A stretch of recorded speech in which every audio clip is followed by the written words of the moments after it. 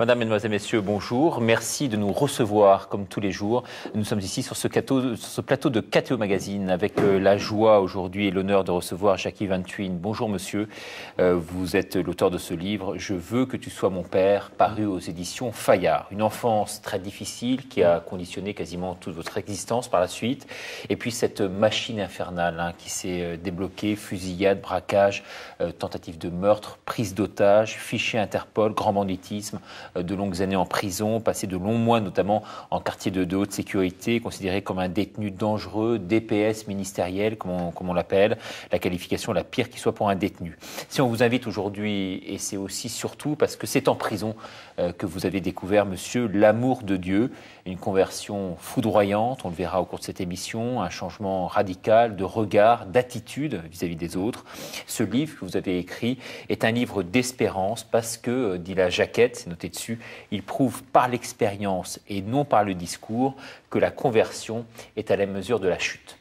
Ce que je vous propose dans un premier temps, alors que le Père Marcet a eu la gentillesse de venir vous accompagner sur ce plateau, le Père Marcet que vous connaissez bien, ce que je vous propose dans un premier temps, c'est de regarder ensemble un sujet qui vous est consacré. Il est signé Frédéric Jakovlev. Pour certains, la vie est une quête, une recherche permanente pour trouver la lumière, puis la perdre. Jackie Van est de cela, un mastodonte qui tombe, puis se relève. L'homme a 58 ans, mais il dit être né un soir de septembre 81. Il est alors au fond du trou, derrière les barreaux de la prison de la santé. Mais n'allons pas trop vite. Petit 1. Jackie, l'enfant des corons qui grandit dans la grisaille, dans la tristesse du nord de la France. L'enfant qui apprend la douleur, qui découvre la vie dans un monde sans amour. Il n'est pas adolescent, mais déjà, le tunnel se referme. Mon père tenait un café avec ma mère. La vie à ce moment-là était très dure et moi j'étais toujours dans la rue. Donc à 8 ans, je suis déjà très très dur, au détriment d'un cœur d'enfant, très violent. Et ben, la rue, c'est la violence, quoi. Et je suis livré à moi-même. Donc, euh, j'ai jamais mangé avec mon père. Je sais pas ce que c'est qu'un Noël ou un Nouvel An avec mes parents. J'ai jamais été en vacances avec eux. Mon père m'a jamais parlé. J'ai 28 cicatrices à travers le corps, mon dos est cassé, ma main est cassée. Mon père m'a jeté au canal pour apprendre à nager, donc j'ai pas été élevé, j'étais dressé. Dressé. Jackie va tenir, c'est un dur, il serre les poings, surtout ne pas s'apitoyer. Petit 2, Jackie le bandit.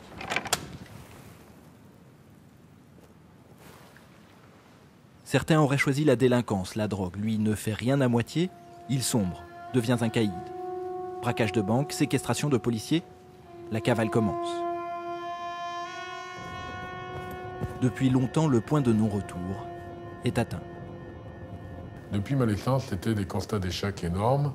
Ça a été des échecs successifs, de ma faute et non pas de ma faute. Et le fait que je suis impulsif, je me révolte, je dis fini pour fini, tant pis pour vous. Je prends un revolver et j'attaque donc des pompes à essence, j'attaque des supermarchés, puis petit à petit, ben, je monte une équipe et je vais de plus en plus loin. Et en fait, je ne m'aperçois pas que d'impulsif, je passe à méchant et de méchant à dangereux. Très dangereux. Dix ans après, je suis fiché au grand banditisme, fiché à Interpol. DPS ministériel, c'est une appellation donc en prison. Tous les terroristes sont DPS en prison, DPS ministériel. Et je suis arrêté par Broussard et Leclerc, rue de la Plaine à côté du boulevard Charonne, en mars 81. Mars 81, fin de l'aventure, Jackie. À 37 ans, il est père de famille, mais sa fille, il ne l'a pas vue naître. Il s'attend à une condamnation à perpétuité, l'échec, sur tous les plans. Peut-être pas tout à fait car il ne le sait pas encore, mais dans six mois, sa vie va changer. Petit 3, la rédemption. À 37 ans, c'est le retour à la lumière, sa renaissance. Un long chemin, une quête qui vient à peine de commencer. J'étais mort, mort intérieurement, psychologiquement j'étais mort. Comment peut-on être mort? Moi je sais que j'ai 37 ans, je sais que je pars au minimum pour 33 ans, donc je vais sortir, j'aurai 70 ans. Ma femme, c'est fini, je ne la verrai plus. Dans le social, je suis entre quatre murs, j'ai plus aucun projet social, j'ai plus rien, je suis mort. J'ai des gitans qui m'ont trahi, qui m'ont laissé tomber, je suis mort effectivement. Ma fille, je suis mort. Et surtout, la vie m'a endurci et d'une manière tellement dure que je suis devenu dangereux au détriment d'une humanité sans m'en rendre compte. Je suis devenu très dangereux Il y en a un qui dit oui, moi je dis non, je prends un revolver. Et tant pis pour lui. Rien à foutre. Et je suis mort. Mort à l'amitié, mort à ma femme, mort à la vie, mort aux hommes politiques, mort à tout. Et, je ramasse une araignée sur une feuille et je souffle pour pas l'écraser. Il y en a un qui me dit le respect de la vie, t'es revenu. Le respect de la vie, c'est en prison. Du fond de sa cellule que le ciel s'ouvre, saisi par la grâce, la conversion. Quelques mois plus tard, il est libre, la porte se referme définitivement sur cette existence de braqueur. Retour à la vie, avec sa femme, sa fille. Rien ne sera jamais plus comme avant. Petit 4, Jackie, le soldat de Dieu. L'homme, enfin libre, accepte tout par amour du Christ. J'ai toujours voulu foutre le camp du Nord parce qu'il y avait un côté euh, grisailleux, il pleuvait. Euh, les gens du Nord sont des gens extraordinaires, c'est vrai, parce qu'ils ont toujours le cœur. Ce soleil qu'ils n'ont pas là, mais il y a un côté misérabilisme. On chante les roses blanches de Corfou. J'ai voulu quitter ça, je ne voulais pas regarder ça. Donc je suis parti. J'ai toujours voulu foutre le camp dans le midi, et puis pour finir, j'ai toujours été amené, si vous voulez, à des coins comme ici.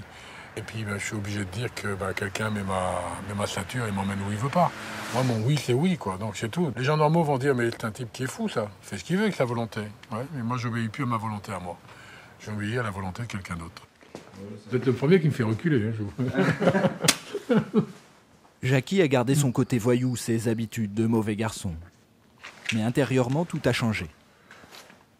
Une fois tombé la guimbardine et le cigare, on retrouve un père de famille heureux, un cœur en or. Mais il n'est pas le seul héros de cette histoire. Sabine, sa femme l'accompagne depuis le début, bien avant la prison. Elle aussi a tout affronté. Moi, envers et contre tout, je l'aimais et j'avais pas du tout envie de refaire ma vie. Donc, bah, je n'ai pas le choix que de subir et que d'attendre son retour. Quoi. Voilà, c'est tout, tout, est là. Et à partir de là, c'est vrai qu'on a une vie euh, complètement euh, hors norme par rapport aux autres. Après, c'est les parloirs. C'est vrai aussi que j'ai eu ma première fille et il n'a pas été là à l'accouchement. Donc, euh, il y a eu toutes ces choses-là aussi. Pour Jackie, la conversion est à la mesure de sa chute, excessive. C'est une force de la nature. Il s'engage pour aider ses frères, les anciens détenus. Il devient directeur d'une association de réinsertion. Il y passe 24 heures sur 24. La voie étroite de la sainteté, peut-être aussi une façon de se racheter au détriment de la vie familiale. On n'a pas eu le temps de s'habituer à vivre ensemble et de prendre des habitudes. On commence. On commence. On commence. C'est ce que je disais tout à l'heure, ça, ça commence à venir, on se consulte, on se parle. Depuis six, quoi, depuis six mois, même pas Oui, enfin j'allais dire, mais ça fait deux, trois ans qu'on commence quand même un chemin. Oui, oui, bien euh, sûr, bien sûr. Et pourquoi ça a été si long alors? Bah, parce, que, que Jackie quelqu'un d'entier et que quand on est arrivé à Paris, il y avait à peine un an qui était sorti et il a foncé comme un dingue et euh, cinq étages à gérer, 30 mecs, plus tous les gens d'extérieur qui venaient le voir. Il a ce côté humain qui, qui est toujours disponible pour les autres. Et euh, c'est vrai qu'au départ, c'était un peu au détriment de la famille, parce que lui, il a foncé, foncé, foncé. C'était sa vocation. Euh, il, voulait, il avait cette foi en lui, il voulait servir euh, le Christ, laver les pieds, comme il disait. Donc rien n'était trop pour les gars, quoi. Le curé disait Ouais, les nouveaux convertis, vous êtes entier, absolu, excessif. J'ai dit Mais moi, j'étais déjà comme ça avant ma conversion, alors Sauf que ça pouvait être excessif dans la connerie. Hmm. Puis pour finir, excessif par rapport à quoi? Par rapport à quelle moyenne? Par rapport à quelle médiocrité Excessif, il n'y a pas d'excessif. Aujourd'hui, Jackie a cessé toute activité pour être avec ses proches, avec sa famille. Avoir vécu une conversion soudaine ne le dispense pas d'affronter la réalité. La quête est longue pour trouver la paix. Piper Sam, viens Reste une certitude, depuis ce soir de septembre 81, Jackie a retrouvé sa vérité. Voilà, avant de, revenir avec vous, monsieur, hein, sur les différentes étapes de votre existence qui vont permettre aux téléspectateurs de, de mieux vous connaître, de, mieux vous comprendre, peut-être un, mot de réaction par rapport au reportage que vous venez de voir à vous, et puis euh, je demande également au père Marseille. Vous trouvez qu'il est fidèle par rapport à... Oui, j'aime bien, bien sûr, bien sûr. tout ça est au service de, effectivement d'avoir retrouvé ma vérité. Ma vérité, je l'ai retrouvée un vendredi soir en prison. Mais il n'y a que Dieu qui peut faire éclore notre vérité à chacun de nous. On ne se connaît pas, on est coupé de soi-même. Et moi, j'étais coupé de, ben, effectivement, de cette enfance, dès le départ. J'étais coupé de cette humanité. J'avais plus rien de sensible en moi. J'avais plus rien de ni envie, ni de potentiel d'être gentil, mais vraiment pas. Et, et puis d'un seul coup, je ne sais pas pourquoi, comment, la grâce de Dieu, bien sûr, je l'ai appris par la suite. Et d'un seul coup, ben, je me suis même étonné, je suis surpris et à, éprouver de l'amour pour les murs de ma cellule, alors que j'avais un cœur complètement aride. Dans cette quête de vérité, vous en êtes à quel cheminement aujourd'hui, d'après vous? Ça ne peut pas s'expliquer en deux mots ou en dix phrases, même en dix minutes, mais aujourd'hui, pour moi, il n'y a que Dieu. C'est dans l'oraison, c'est dans le silence, c'est dans la gratuité, c'est dans la prière, c'est dans le recueillement, c'est dans l'intériorité, dans l'intériorisation, et c'est dans le partage avec tout le monde. C'est dans le partage avec tout le monde. Je suis attaché à l'harmonie, aussi bien des, choses, des gens, des paroles, que, que tout. Je, je suis un laïc, mais j'ai envie de dire que dans ma tête, je suis un religieux, je suis un prêtre. Je, tiens à dire ça, même si je ne le suis pas, je tiens à dire parce que j'ai la même motivation euh, des prêtres. Vous, mon père, est-ce que vous sentez chez lui ce, prêtre potentiel? Je sens surtout, moi, le, converti, euh, c'est-à-dire que... La radicalité du converti, comme on disait dans le reportage Oui, tout à fait. C'est... quand la fin du reportage, ils disent Jackie a trouvé sa vérité, moi je dirais, je dirais plutôt qu'il a trouvé la vérité. C'est-à-dire qu'en fait, pour se trouver lui-même, il a fallu qu'il passe par euh, cette découverte qu'il a presque subie, qui, qui sera mieux racontée, euh, qui est de, en fait d'être trouvé par le Christ. Euh, et plutôt, peut-être je dirais même, parce que c'est bien, c'est bien son histoire, d'avoir d'être né à une présence qui était là, mais qu'il ignorait. Mais d'un autre côté, euh, ce n'est pas non plus euh, un passage obligé. Il ne faut, pas, faut, pas se leurrer. Il est passé par ces différentes étapes de son existence, très sombres parfois. Euh, Ce n'est pas pour autant qu'il faut les, gommer, les effacer ah bah, les accepter. Au contraire, si, si il, fallait qu'il passe par là. Moi, tout à l'heure, je me disais, c'est comme un mage, quand, quand les mages ils sont allés voir Jésus à la crèche. Ils sont sortis de leur obscurité et ils ont été guidés par une lumière. Et ils ignoraient tout de qui était le Christ avant. Et, euh, Jackie est sorti des ténèbres. Et il a été trouver euh, cette lumière sans savoir au début de quelle euh, intensité et de quel ampérage était cette, lumière. Mais aujourd'hui, elle, est, la, elle est la, clarté de son humanité. Alors pour mieux comprendre ces ténèbres hein, auxquelles vous faisiez allusion, on va replonger, monsieur, dans votre enfance, notamment un âge crucial pour vous, l'âge de 8 ans, hein, où tout a basculé finalement. Hein. Je dis 8 ans parce que avant, puis même à la limite, j'ai pas de souvenir en dessous de 14 ans. J'ai scotomisé. Je suis passé en psychiatrie euh, par, rapport aux assises, j'ai scotomisé. Mais à 8 ans, vous étiez dans la rue, c'est À 8 ans, j'étais dans la rue, j'ai toujours été dans la rue. Mais c'est important de dire ça parce que, en fait, tous les marginaux sont livrés à eux-mêmes et ils sont dans la rue. On est livré à soi-même. On n'a pas d'encadrement. Les marginaux n'ont pas d'encadrement affectif. Moi, je me reconnais dans tous les marginaux. Les marginaux se reconnaissent en moi. On n'a pas d'encadrement affectif, instructif, éducatif. J'expliquerai peut-être tout à l'heure comment on devient un marginal. Parce que personne vient au monde pour être un voyou ou une prostituée. Donc effectivement, c'est la rue. Et la rue, ben, c'est la bagarre, c'est la violence. Il faut, faut, se démerder. 8 ans n'est pas très grand. Donc quand vous dites euh, la violence, c'est quoi? C'est écorcher vif, c'est euh, effectivement ce sentiment euh, d'impulsivité, cette imprudence aussi qui règne un peu partout? Ça monte, c'est intentionnel, on va de plus en plus loin. L'homme se dépasse, peut se dépasser dans le positivisme comme il peut se dépasser dans la négation. Tout à l'heure, j'expliquerai effectivement qu'on a une démarche vitale intérieure, une démarche euh, régénérescente, et elle est composée en fait de ce qu'on fait. Et petit à petit, ben, cette démarche se, dévitalise petit à petit, et on va de plus en plus loin dans la négation. Les jeunes s'emmerdent le samedi, ils vont casser un carreau. 15 jours après, ils casseront plus un carreau, ils mettront le feu aux poubelles. Trois semaines, un mois après, ils mettront le feu normalement à la conciergerie, ils emmerderont les gens. Alors c'est sûr qu'il y a une expression là que, vous employez dans votre livre qui est belle, mm. et vous dites euh, cette violence, cette détresse qui ferme le cœur et les poings aussi. Bien sûr. Mais je crois qu'un homme qui est violent, c'est quelqu'un qui souffre, c'est obligatoirement. C'est quelqu'un qui souffre, quelqu'un qui est violent, c'est clair. Et alors vous, euh, vous avez une explication, c'est bien sûr des, des, parents qui vous ont plus ou moins délaissé, abandonné, Une mère qui est morte vrai. très jeune. C'est pas vraiment vrai, pas dans l'intention. Mon père était très pris. Mais, vous savez, on choisit pas son père. Mon père tenait un café. Si mon père tenait pas un café, il était différent et moi aussi. C'était un homme très dur, très rude. Et puis, bah, il travaillait, il fallait qu'il s'en sorte. C'est un, un café, c'est une entreprise individuelle. Donc, ma mère travaillait beaucoup, lui aussi. C'était un homme qui savait m'aimer. C'est un gars qui m'a dit à 24 ans, tu sais, Jackie, ton père, il t'aime. Ouais, mon père, qu'est-ce qu'il m'aime? Parce qu'il n'était pas démonstratif, parce que les parents étaient un peu tous comme ça, surtout dans le Nord. Ils parlaient pas. Euh, les sentiments, on n'en parle pas. Euh, bon, c'est comme ça, quoi. Voilà. Et puis d'un autre côté, il y a une société hein, qui, qui vous a aussi brisé, il faut bien le dire. Vous le dites dans votre livre, hein, vous dites les jeunes qui frappent aujourd'hui aux portes de notre société glacée, tellement couturés de cicatrices, tellement cernés par la, la meute des dealers, par cet euh, environnement finalement si défavorable, bah, ces jeunes succombent finalement au mal. Oui, et puis j'aime pas te dire ce que je vais dire, mais je vais le dire quand même. J'aime pas te dire ça. Je regrette. La crédibilité, c'est quelque chose d'important. Et aujourd'hui, les hommes politiques sont plus crédibles.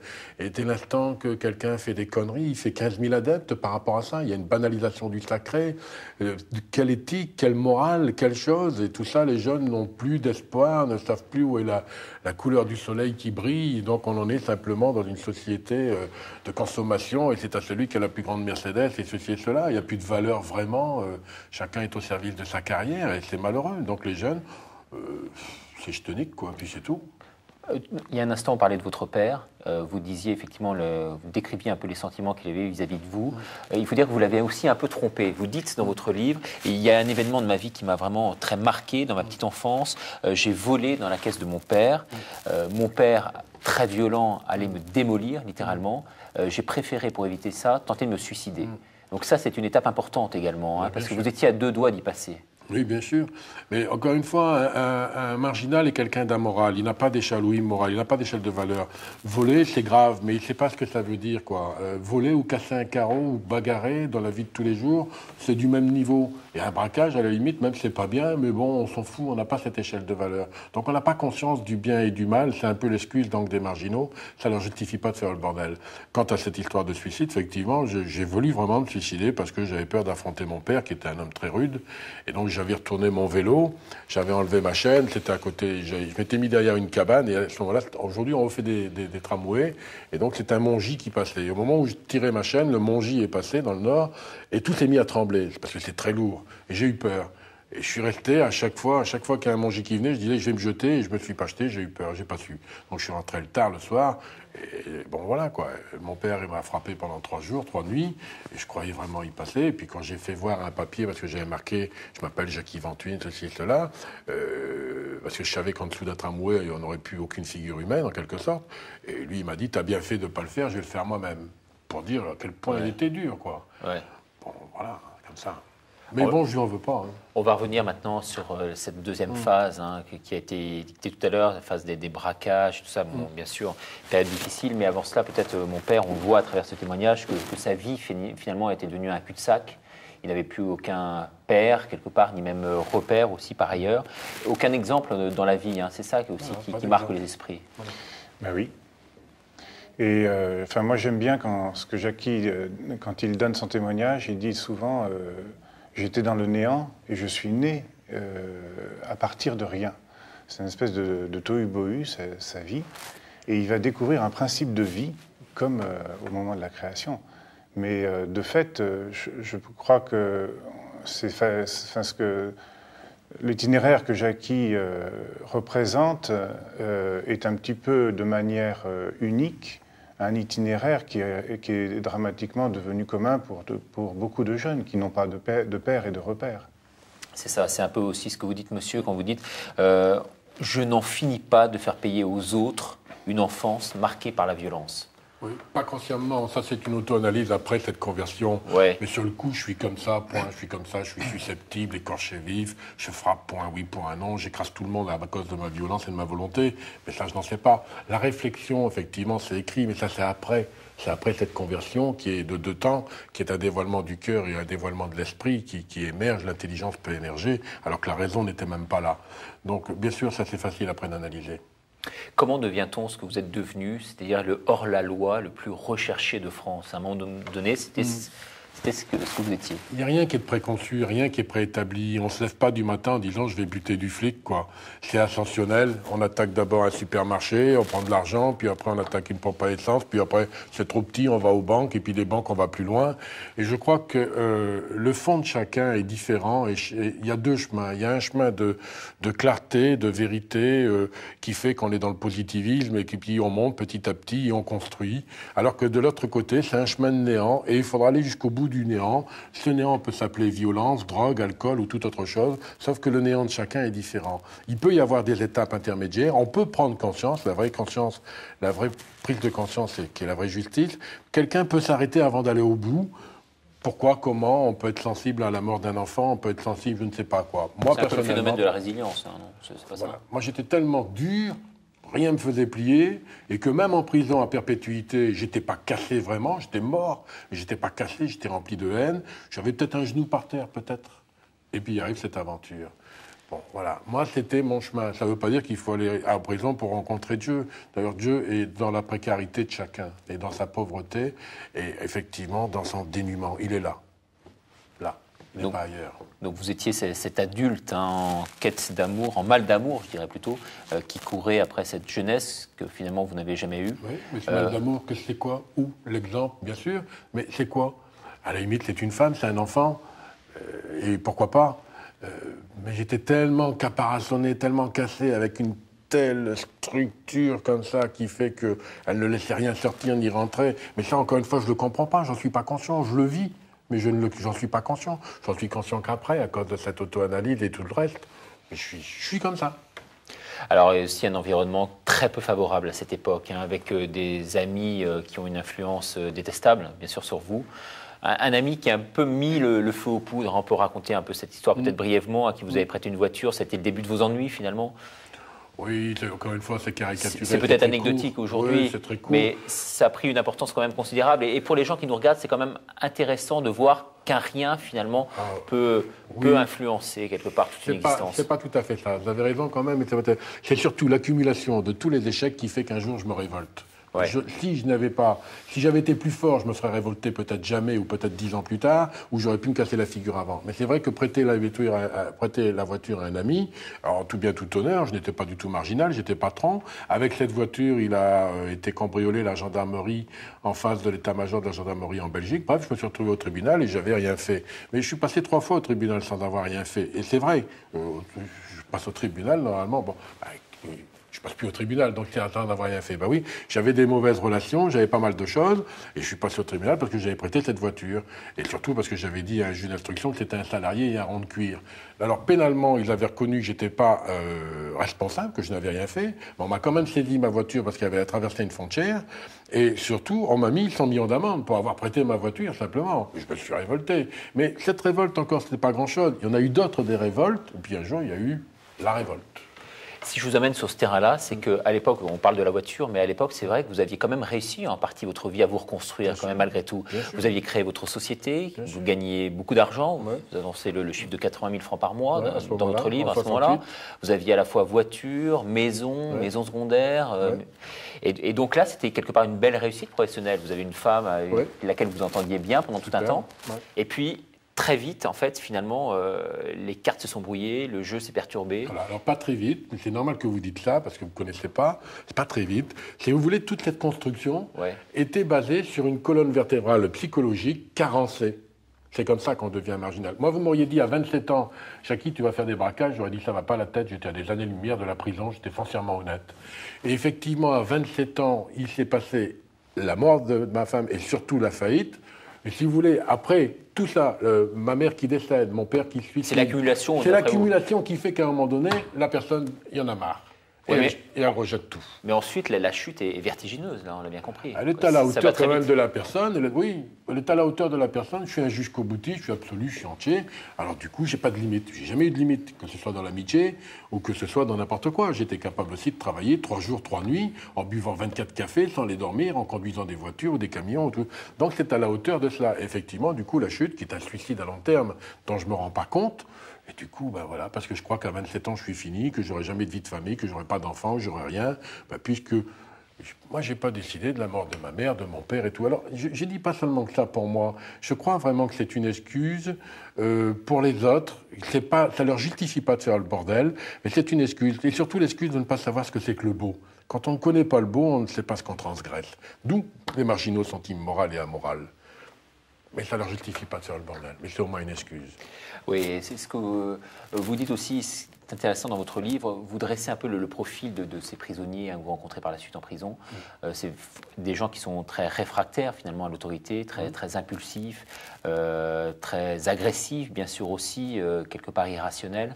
vous dites dès l'instant que, que cet affectif est exacerbé, cela occulte quelque part un peu la raison. La raison, c'est pas moi qui le dis, c'est le père Pascal Hide. Oui, Pascal Hide, mm. ah bah, qu'on connaît bien mm. aussi par ailleurs. Mm. Vous, qu'est-ce que vous, vous diriez, mon père, euh, par rapport à ça Avant, si vous voulez, cette histoire de réfractaire, il faut savoir que c'est reconnu normalement dans le, c'est reconnu euh, par le Conseil, euh, par l'Assemblée nationale, par le, Sénat, qu'ils ont fait des enquêtes sur la prison. C'est reconnu que on met, il y a 70% de la population carcérale qui vient de la DAS. C'est souvent une, identification au père. Le père n'étant pas là, pour une raison ou pour une autre, ou étant très trop abrupt, donc il y a souvent ça. Donc le père étant autoritaire ou autorité, ou n'étant pas là ou l'étant trop, c'est souvent l'identification au père pour moi et pour beaucoup de marginales dont je m'occupe aujourd'hui, et qui font qu'on est réfractaire à toute autorité, même institutionnelle et surtout à l'Église ou toute autre chose. Voilà, je tenais à dire ça. Réfractaire à l'Église, oui. On peut donner que ce qu'on a reçu ou que ce qu'on a conscience d'avoir en soi. Et euh, enfin, sans connaître Jackie, on connaît tous aussi euh, dans nos vies des, gens, des enfants qui n'ont pas été aimés par leurs parents et qui n'arrivent pas à aimer ou à rencontrer les autres, tout simplement parce qu'ils n'ont jamais été aimés. Et tant qu'il n'y a pas une révélation quelque part qui vient par l'affectif et qui va venir en fait pour Jackie par le spirituel euh, presque en direct, eh ben, il n'y a pas de raison d'aimer ni une société qui m'aide à grandir, ni les autres qui sont des concurrents. Et du coup, on, devient soi-même son propre dictateur. Pour compléter, c'est possible, pour compléter, parce que c'est très ténu. C'est vrai. Hein et donc, effectivement, au tout début, ben, quand j'étais jeune, j'étais comme tout le monde, il y a le bien et le mal en moi, j'étais capable d'être gentil et de faire. Puis petit à petit, cette source s'est tarie. Mm. Et comme je ne reçois pas, eh ben je donne, comme je reçois pas, comme je reçois pas, comme je reçois pas, je donne peut-être un peu, mais petit à petit, et c'est pour ça que je voudrais que ce tableau soit là pour dire de bien faire voir ce genre de choses, petit à petit, la source se tarit, elle se, se ringardise, elle devient négative et elle devient de plus en plus méchante. Et, mais pour n'importe quel marginal on va faire venir le, tableau dans un instant. Là, je m'adresse à mes amis de la, régie qui vont venir sur le plateau vous l'amener. Euh, il y a un mot, je crois, qui résume un peu le tout. Et tu vois, ce qui revient de façon récurrente dans votre livre, c'est appauvrissement. Hmm. C'est un peu ça, hein, quelque part. Quand vous dites la C'est un appauvrissement, c'est une dévitalisation, c'est une dégénérescence, c'est euh, un appauvrissement à tout point de vue et qui fait que, euh, du coup, il n'y a plus que le négatif de l'individu qui peut parler. Alors voilà, le tableau arrive, hein, euh, puisque l'émission est enregistrée dans les conditions du direct, ben, regardez ce que cela donne. Vous allez donc euh, pouvoir effectivement euh, nous écrire et nous dessiner quelque chose, et on va mieux comprendre à travers cela votre itinéraire. Alors, bon, on m'appelle, moi, dans les internats, je vois des élèves, et la plus grande des questions, souvent, on me dit, mais comment on est marginal? Mais Moi, je dis qu'il n'y a pas de marginal dans la vie. On ne vient pas au monde pour être un clochard, pour être une prostituée, un voyou, mais pourtant, il y a des clochards et des prostituées. Tout simplement parce qu'on n'est pas égal. On n'est pas égal devant la souffrance, on n'est pas égal devant la drogue, devant l'alcool, et le fait que euh, ben, Martin Gray, lui, il n'a pas eu ma vie, on lui a fait dix fois pire qu'à moi, et c'est un type qui restait positif. Mais il a eu un bon rodage. Donc, pour comprendre, parlons d'abord des gens normaux. Au départ, on vient au monde avec un caractère. On n'a pas de personnalité, on vient avec un caractère. Et puis, nous avons tous une dynamique, une dynamique vitale, qui est de l'amour. On est tous euh, appropriés, on a tous dans notre vie cet amour qui est là. Alors 18 ans, la personnalité, elle est là, 18, 19 ou 20, mais cette, cette personnalité, elle est faite en fait, elle est soumise à, j'ai envie de dire, au contexte familial, social, culturel, spirituel. Et donc on est la résultante, ben parce qu'on est né dans le 18e où on est, on est né à Rouen, et donc on est la résultante du contexte familial, social, culturel. Et on a reçu tout ça. Ayant reçu, on s'est enrichi, et puis à un moment donné, avec son caractère quand même, avec son caractère, à un moment donné, on dit je, à 18, à 19 ou à 20. Eh bien, un marginal, c'est le contraire. Un marginal, c'est d'abord une carence affective énorme. D'abord ça Puis une carence, éducative, instructive, spirituelle, culturelle. Moi, quand j'ai eu, avec cet impact spirituel, quand j'ai lu la Constitution française, j'ai dit si j'avais su ça, je serais jamais devenu un, je serais jamais devenu un marginal. Quand je suis devenu un marginal, ma vie valait pas grand-chose. Donc, il y a d'abord ça. Donc, un caractère, une vie, une vie d'amour qui est vitale, et à force d'avoir ces carences, eh ben, petit à petit, ça se dévitalise, ça se dégénère, et petit à petit, on, vient, on devient marginal. Alors, pour bien comprendre cela, pour bien comprendre cela, si vous voulez, ça c'est un bonhomme, tout en haut il y a sa conscience, il y a le bien et le mal en lui.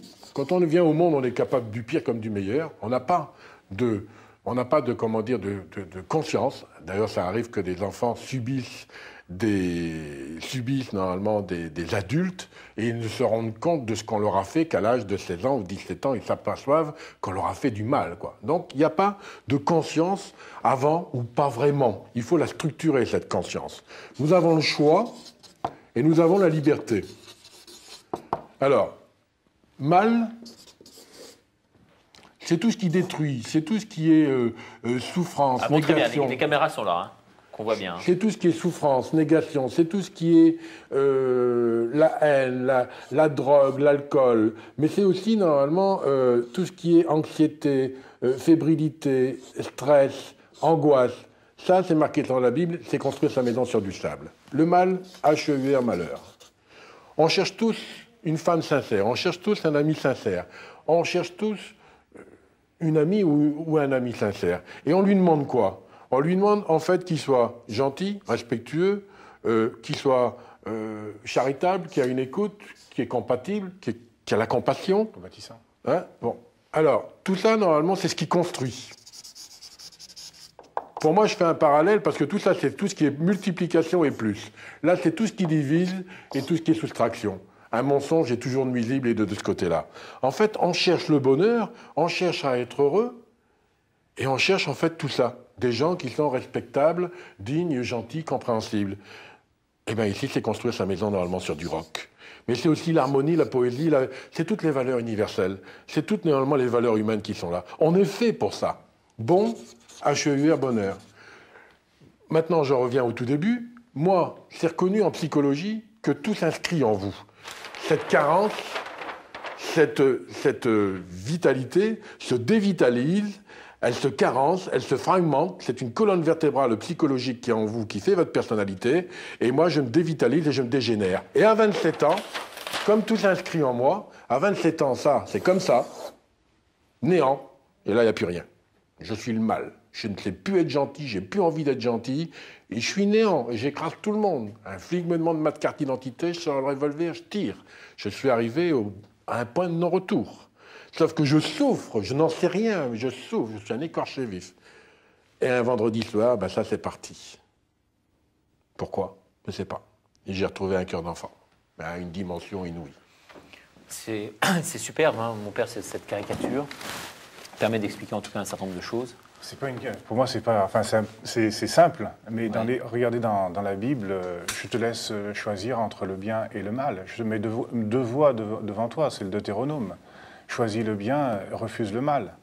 Et euh, en fait, euh, c'est ça. Et ce qu'il ce faut, enfin, ce, à quoi on va arriver, je pense maintenant, c'est aussi à cet événement qui, se passe comme par hasard un vendredi dans la vie de Jackie. Oui. Avant ça, peut-être en, un dernier mot. D'après vous, donc tout homme est amendable et c'est ce qui explique un peu ce, schéma-là. Euh, heureusement que tout homme est amendable, absolument, oui. Et un jeune m'a dit un jour, ben, on n'est pas tout l'un, on n'est pas tout l'autre. Et puis il dit, on a ça en nous. Alors on fait ce qu'on peut, quoi. On ne sait pas, quoi. On, est un peu victime moment de ça. Et moi, j'ai dit à ma fille, j'ai dit à ma fille que j'adore, qui a 27 ans et que Dieu sait si j'adore cet enfant. Euh, j'ai dit à ma fille, tu sais, oublie ton père, n'oublie jamais Dieu. Elle me dit comment ça? J'ai dit moi tu vois je peux te payer tes études, je peux te payer une voiture que je ne vais pas payer d'ailleurs, les études oui. Et j'ai dit mais tu sais, Dieu lui, il peut te transcender. Dieu peut te libérer, c'est en ce sens qui te réalise. Dieu te réalise, c'est en ce sens qui te libère. Dieu peut t'unifier, Dieu peut t'apaiser. Unifier, ça veut dire qu'on a en nous, on a trois énergies. On a trois énergies. Énergie physique, on a une énergie affective qui est terrestre et qui est conflictuelle, Et on a une, énergie normalement intelligente et rationnelle. Et bien souvent, on fait des choses rationnelles contre l'affectif ou des choses physiques contre l'intelligence ou la raison. Et il y a cette petite goutte d'eau qui, qui est, à l'image de Dieu en nous, qui est ma vérité. Mais pour rencontrer cette vérité qui est en moi, il faut que je rencontre la vérité qui est christique. Et ça, c'est tellement fort. Si ça se met à se développer, et eh ben, ces trois énergies le suivent. Et à partir de là, il y a une unification qui se fait. Alors peut-être justement avant de passer à cette seconde naissance, hein, comme le père disait, ce, fameux vendredi, euh, peut-être un dernier mot sur la prison, parce qu'en prison c'est quoi? C'est un, long face à face face à soi-même, mmh. euh, face à ses difficultés, face à ses propres échecs, prenez conscience d'un certain nombre de choses. Mmh. Finalement, pour vous, ça a été salutaire, parce que c'est vrai qu'on condamne beaucoup la prison, mmh. mais quelque part, vous n'auriez jamais eu ce parcours si vous n'étiez pas passé par là. C'est triste à dire, mais c'est une réalité. Moi, il me fallait ça, mais c'est pas pour ça. On ne découvre pas Dieu en prison. Je m'assure qu'on découvre Dieu en prison. On découvre Dieu dans le fond de son intériorité, dans, sa, dans ses carences, dans son dénuement, dans sa précarité. Et il faut savoir que, bon, malheureusement, je suis atypique, euh, donc tout le monde n'est pas comme ça. Euh, l'épreuve, quand elle est trop forte, elle casse. il y a plus de gens détruits qui sortent de la prison. La prison, effectivement, peut faire faire un face-à-face avec quelqu'un, c'est une prise de conscience. Il faut savoir que dès l'instant que la raison est occultée, à cause de cet affectif, j'ai envie de dire cette souffrance de cœur énorme, dès l'instant que la raison est occultée, le gars, il vit ça, il ne sait pas ce qu'il vit, il ne sait pas. Donc, faire une prise de conscience à ce niveau-là, il ne sait pas. il relativise quand même qu'il est coupé de tout le contexte familial, social. Il relativise quand même que, les gens euh, ont, comment dire, souffrent à cause de lui. Il relativise avec d'autres histoires, c'est vrai. Mais il est tellement exangu de toutes choses qu'il ne sait pas ce qu'il doit faire pour s'en sortir. Je regrette. Je vous assure que les gens ne savent pas ce qu'ils doivent faire pour s'en sortir. Ils sont prisonniers de ce néant. Là, en l'occurrence, vous aviez rencontré quand même un personnage très, très charismatique, un père aumônier, mm. euh, qui, euh, lui, a joué un très grand rôle dans votre vie. Hein. C'est lui qui vous a initié carrément à la religion. Euh, non, si vous voulez, la conversion, elle est d'abord donc spirituelle, elle est par l'Esprit Saint. Aucun prêtre digne de ce nom vous dira qu'il peut convertir quelqu'un. Donc, quand j'ai rencontré Philippe Maillard à peu près 23 mois après ma conversion, effectivement, moi j'étais à la recherche. À la recherche de quoi? Ben, euh, aussi bien du troisième œil que de la main de Fatima. Donc je n'avais pas de livre intéressant. Donc lui m'a apporté des livres intéressants, notamment Dietrich Bonnefer, mais surtout Marcel Lego, Intériorité et Engagement. Et donc, effectivement, heureusement qu'il m'a guidé. J'ai gagné peut-être 4-5, si ce pas 10 ans, à cause de ce. c'est ça, donc sa, présence a permis de, consolider votre foi. Tout à fait. Mais d'un autre côté, il y a eu cette fameuse révélation. Donc on peut en parler maintenant, peut-être. Hein. C'est au moment où vous étiez en train de faire une sorte d'introspection sur votre vie, que toutes vos douleurs remontaient à la surface, que vous avez eu finalement ce sentiment. Euh, j'ai simplement. Euh, cru qu'il y avait euh, quelqu'un m'avait dit qu'il y avait eu normalement une, vie après la mort. Et moi jusqu'à là j'ai dit Dieu je suis contre euh, il n'existe pas et je suis contre. On peut pas être quelque chose qui n'existe pas moi j'étais têtu abruti tout ce qui s'ensuit. Et donc à un moment donné un gars me, dit ça et je lui dit mais alors s'il y a une vie après la mort Dieu existe et là j'étais dans une attitude mais là je suis dans, l'explication. Là je suis dans une attitude en fait d'acceptation en quelque sorte. Mais bon Dès l'instant que j'ai eu dit, mais alors, s'il y a une vie après la mort, Dieu existe, et quand j'ai eu dit ça, j'ai été rempli partout, dans tous les membres, mais partout, dans tous les membres, euh, je le sentais, je le sentais dans, mes articulations, d'une douceur infinie. À ce moment-là, je disais de la ouate, je dis aujourd'hui, je dis de l'amour, aujourd'hui, je dis de l'amour, et je ne comprenais pas ce qui m'arrivait, j'étais comme absent dans cette cellule, et puis j'étais me coucher comme ça. Le samedi matin, je me suis levé, j'étais dans le même état, quand je suis arrivé, j'étais dans le même état et j'étais voir donc les gars du bar du téléphone, avec, il y avait eu neuf morts, j'étais avec un de mes complices. Et quand j'ai vu ces gars-là, j'ai dit comment on peut être aussi nuisible? Mon ami, il me dit qu'est-ce qui t'arrive? Je comprends pas, on dirait je viens au monde. Il me dit on vient pas au monde en prison. Il dit à 37 ans, euh, c'était fou quoi. Je dis je comprends pas. Puis il dit je veux plus voir personne. Je suis remonté en cellule et je suis plus sorti. Le samedi après-midi, ils ont été en promenade, moi je suis pas sorti. Et le samedi après-midi, je faisais rien d'extraordinaire en cellule, et il y a un voile comme ça qui s'est déchiré de gauche à droite, très légèrement, devant mon front, dans mon front et devant mon front, pas au-dessus, pas. Ça chatouillait. Et d'un seul coup, j'ai une puissance intellectuelle inouïe. Tout vient de là. Après, il y a un cheminement, après, il y a une recherche, après, il y a une authenticité. Moi, je n'ai pas de responsabilité, je n'ai aucun mérite, sinon que d'avoir dit oui, sans savoir où j'allais, c'est tout. Mais je n'ai aucune responsabilité dans tout ce chemin après qui suit, euh, sinon de mettre laisser faire et ça s'arrête là. Maintenant, ces deux choses, je peux les expliquer. La première, la guérison du cœur, je peux expliquer les conséquences. Je ne l'ai pas fait sur le moment. Sur le moment, je ne savais pas ce qui m'arrivait. Mais à force, justement, je l'explique, non Vous pouvez l'expliquer, oui, bien, sûr. Ou peut, peut-être aussi avec le, avec le père, hein, euh, dont le rôle est important, parce qu'il va pouvoir nous, nous Non, parce que moi, j'entre dans David Jackie bien après. Euh, parce que à ce moment-là, je ne connais pas Jackie, je ne suis même pas prêtre, moi. Mais euh, la première fois que Jackie m'a raconté cette histoire, moi, tout de suite, dans ma tête, j'ai pensé à, à Damas et à la conversion de Paul qui se passe. Euh, Ce chemin de Damas Voilà. Et, donc, euh, c'est un. Enfin, Jackie aime bien dire euh, ça. je ne suis pas un élu, je suis un, racheté. C'est-à-dire que c'est immérité et, rechercher ce qui lui arrive. après, il peut mettre dix ans plus tard ou cinq ans plus tard des mots dessus, mm. mais il n'y a pas quelque chose qu'il a eu au détriment de d'autres. Enfin, ou pas. il sait pas, on ne sait pas pourquoi ça s'est passé. Et euh, donc, euh, cette expérience qu'il vit, ce qui, ce la prouve, ce qui la prouve, c'est qu'en fait, elle, est physique et elle est relationnelle. C'est-à-dire que quand il en parle, il, parle d'un voile, il parle d'une sensation physique, et elle est relationnelle parce que de violent, il devient doux, et, de, et, de sans, sans, recherche intellectuelle, il devient boulimique de, de lecture. Complètement. Alors, la première des choses, c'est ce qui est important, parce que moi, justement, je cherchais à comprendre. Je, n'étais pas prêt à accepter, et à la limite, suivez-moi, mais je ne parle pas comme le pape, je ne parle pas comme Philippe Marseille. Je pose des questions à Philippe, je pose des questions, les mêmes questions aux autres, et je cherche toujours à comprendre, et je ne me satisfais pas d'une réponse comme ça. Et donc, j'ai cherché, j'ai même lu le livre de la Bible, les témoins de Jéhovah, des catholiques, je cherchais la différence de présentation pour voir s'il y avait un endoctrinement. Mais j'ai cherché, puis je continue à chercher. Et en fait, ce qui s'est passé, là, c'est indépendant de ma volonté, c'est que cet amour extraordinaire qui était en moi euh, m'a apaisé. Moi qui étais mais alors, mais impulsif, susceptible, m'a apaisé d'un seul coup. Et ça vous a également revitalisé, hein. c'est une, grâce qui vous a Moi, le premier mot, quand j'ai commencé à parler de Dieu, j'ai dit Dieu est énergie. Il faut savoir que quand on dit que Dieu est le verbe, le verbe dans la, dans la, dans la, dans la, dans la grammaire française, c'est l'action, c'est le verbe. Donc j'ai dit Dieu est énergie. Bon, j'ai aussi dit, j'ai aussi dit que Dieu était intelligent et irrationnel, mais sur une, pensée terrestre. Et donc, euh, si vous voulez, cet amour était en moi, euh, enfin cet amour. Il y avait un fondement, j'avais des ressources, j'avais une potentialité. C'est ce qu'on disait tout à l'heure. Pour donner, il faut recevoir. Donc il y avait une démarche quand même aussi. Il n'y avait pas une démarche. C'est un constat de, c'est un constat de fait. C'est que je n'ai rien fait. C'est que là, il y a, il y a en moi un fondement, une ressource, une potentialité, des potentialités qui me donnent la possibilité d'être mature et qui me donnent la possibilité de, de comment dire, de solutionner les choses avec un courage moral. Parce que jusqu'à là, moi, j'ai pas de courage moral. Je plie tout à la violence et tout à la volonté. Et donc là, d'avoir ça, c'est une chose, hein, de revitalisation. Il faut avoir donc des ressources. Et eh ben, encore une fois, c'est pour les pauvres que je parle, parce que si ces pauvres qui sont exangues de tout, comment voulez-vous qu'ils ont du courage? Ils sont exangues de tout. Donc je peux en parler à connaissance. Il y a ça. Et la deuxième des choses, et qui complète la première, c'est quand ce voile normalement se déchire. Avant ce voile, je suis instinctif, intuitif. Je raisonne pas. Un gars me dit, ou ma femme me dit, ça va pas. Non, pourquoi? Je ne sais pas pourquoi ça va pas. Ça va pas, je ne sais pas pourquoi.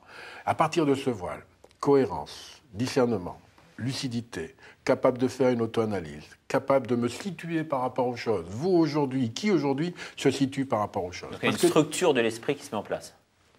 Plus ou moins. un affectif qui s'apaise, qui dégage, à la limite, quand le père Pascal est dit l'affectif est exacerbé, occulte la raison, et eh bien le contraire est vrai. Quand l'affectif s'apaise, la raison redevient et l'intelligence peut émerger. Sauf que cette intelligence, moi j'ai 37 ans et je suis en prison, et quand, quand, je, quand ça, ça m'arrive, rien m'intéresse. Tout m'énerve, rien m'intéresse, et là, à partir de là, je me mets à lire Aristote, Platon, les philosophies grecques et romaines et tout, et je comprends. Platon et tout ça. À un moment donné, je tombe sur Blaise Pascal, je suis à des années-lumière de Blaise Pascal, et ça me fout de l'artiquer, moi, rien que le titre. Je peux pas, c'est pas à ma portée. C'est complètement fou. Et vous tombez aussi sur Jung Hein, qui, constate qu'il n'y a jamais aucune guérison s'il n'y a pas justement précisément à la base cette démarche de foi nécessaire. Voilà, tout à fait. Ça, c'est important. Alors là aussi, alors, ça m'a beaucoup apporté, la psychologie m'a beaucoup apporté. Pourquoi? Parce que, en fait, l'Église a un langage euh, j'ai envie de dire, symbolique, théologique, de dogme. Et moi, justement, de chercher tout seul et de chercher à comprendre, c'est par des mots, normalement, que j'ai trouvé en psychologie, qui peut définir une certaine comportement affectif et tout ça. Et donc, psychologie, mais j'étais évidemment Adler, Lacan très peu, Carl Jung, ça c'est énorme pour moi, Carl Jung. Bon, voilà, ça, ça m'a apporté beaucoup. Mais mes, maîtres, en fait, si je puis dire, mes maîtres, c'est surtout euh, euh, Kant, euh, Maître Edkart, des gens comme ça qui m'ont apporté quelque chose d'énorme. Au début, j'ai commencé avec, avec Intérieur et Engagement de Marcel Legault, mais je me suis tout à fait reconnu avec Zindel. J'ai voyagé, moi, par les livres. Quoi. Je lisais 5 à 6 livres par mois. Ah, est-ce qu'il vous a aidé également à, votre sortie de prison? Parce que vous dites que là aussi, à la sortie, il faut se rééduquer. Hein. on est comme un handicapé. Euh, donc, comme quelqu'un qui a eu un plâtre, quelque part, il faut enlever le plâtre et puis se, remettre à, marcher progressivement. Là, il y a une, un long chemin qui se met en place. C'est très hein. difficile. Et, du reste, dans, le film, vous disiez que euh, vraiment, ça, ça prend quasiment 10 ans, hein, c'est ça? C'est très difficile. C'est à, la hauteur de votre déstructuration intérieure. D'où la chose énorme qui m'arrive moi et qui d'un seul coup je suis revitalisé. Moi qui est mort à l'amitié, voilà ce que je suis ouvert à l'amitié, qui a une ressource potentielle. Mais effectivement, les, les sortants de prison, la, plupart, c'est des cas par cas, on peut pas parler en généralité, mais la plupart, il y a trois sortes de types. Il y a des gens qui sont très durs et encore plus durs quand ils sortent, ils sont encore plus fous, mais la grande majorité, c'est des gens qui sont cassés et qui sont incapables de se reprendre en charge. Et donc c'est une rééducation, il faut se remettre petit à petit à se rééduquer, mais comment? Qu'est-ce qu'un sortant de prison C'est un gars qui n'a plus d'espoir, qui est fataliste, qui est aigri, qui est désespéré, qui est réfractaire à toute autorité. Qu'est-ce que vous voulez qu'il croit à quoi que ce soit à la société Il ne croit même pas en lui.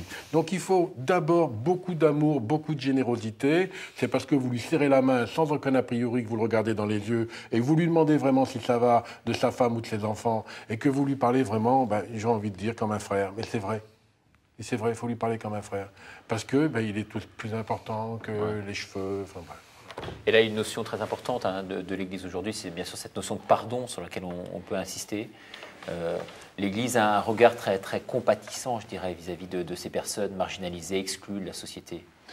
Il y a des mains tendues sans arrêt de la part de l'Église vis-à-vis de ces gens-là. Oui, bien sûr, parce que de toute façon, euh, ce que disait aussi, enfin je m'excuse, chaque fois je cite Jackie parce que je, pense que euh, euh, c'est comme ça qu'on comprend mieux aussi par le regard de quelqu'un d'extérieur qu'il estime euh, sur lui. Euh, je sais d'ailleurs plus que ce que je voulais dire. L'Église était compatissante par rapport à ces gens-là Oui. Eh bien, tant pis, j'ai oublié. en tout cas, vous l'avez fait témoigner, lui, à plusieurs reprises, hein, une quarantaine de fois, vous l'avez entendu. Et à chaque fois, son, son, témoignage vous marque, hein, parce que euh, on ne ressort pas indemne quelque part. Hein. Et on se dit qu'il a reçu une grâce, mais on se demande comment elle a pu arriver et pourquoi lui, effectivement. Cette question que vous posiez tout à l'heure. Oui, mais moi je, crois qu'il faut se, retenir de chercher euh, pourquoi. Et il faut voir comment après. Et, euh, Jackie, parce que c'est suspect, un, prisonnier qui se convertit. C'est spontanément suspect, et pour l'administration pénitentiaire et pour les curés parce que c'était une source d'évasion intérieure. On s'accroche à ça. Et Par puis, Oui. Et oui, et puis ça peut être une occasion aussi de, de s'évader, enfin, ou pas, si ce n'est physiquement. Et donc, du coup, la vraie épreuve, elle vient. Enfin, il y a une épreuve euh, à l'intérieur de l'événement qui est vécu, parce qu'il ne sait pas où il va. Mais euh, cette, cette, épreuve, elle est tellement forte qu'avant euh, de, de, vivre des choses, tout ce qu'il va vivre maintenant, Jackie, il va le vivre parce qu'il a conscience d'avoir été le réceptacle de quelque chose qu'il a dépassé. Et donc, c'est pas en lui qu'il va puiser, c'est en Dieu, en Christ, qui est celui qui va appeler. Et, donc, toute cette histoire de rédemption euh, dans sa vie euh, est, concevable à cause de ça. Et en fait, il est parti, voilà, c'était ça que je voulais dire tout à l'heure, il est parti de moins 50 et il va passer à plus 10 ou plus 20 dans sa vie. Nous, nos vies, elles se situent entre moins 10 et plus 3 ou plus 4. Donc quand on se convertit, nous qui sommes issus de bonnes familles, on passe de moins 8 à, plus 4 dans notre vie quand on commence à aimer Jésus. Lui, il passe de moins 50 à plus 10. Ah, ça se voit, ça se voit plus. Et dans notre monde aujourd'hui où euh, tout ce qui est institutionnel euh, est, plus difficilement crédible à cause de la crise des institutions, ce qui est beaucoup moins, ce qui est beaucoup moins, ce qui est beaucoup plus perceptible, c'est des histoires comme celle de Jackie, parce qu'elles sont plus visibles, et c'est ça, à mon avis, par ce type d'expérience-là, qu'on arrivera à découvrir ce que veut dire se laisser aimer, se laisser découvrir par le Christ. c'est pour ça qu'on a besoin de ce type de témoignage chez nous en plateau. Mais vous sentez aujourd'hui euh, redevable, un peu comme disait le, Père tout à l'heure, dépositaire vraiment de, quelque chose aujourd'hui C'est votre mission quelque part dans la vie, parce qu'on arrive quasiment au terme de cette émission, il nous reste trois minutes. Oui, bien sûr. Oui, bah, bien sûr, je, suis redevable, ça c'est clair, euh, et pourtant je ne suis pas un gentil pour autant.